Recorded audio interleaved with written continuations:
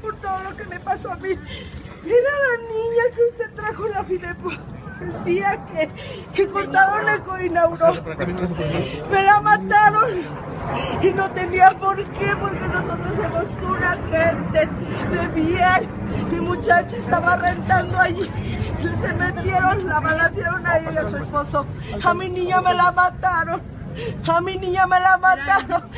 ¿El por qué, presidente? ¿Por qué? Porque si usted es de nuestra propia colonia, nosotros somos una gente trabajadora que trabajamos al día.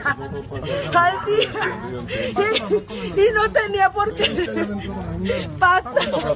Pasa, doña Julia, allá de la manera. Ay, doña, si pasan allá adentro. Pero no.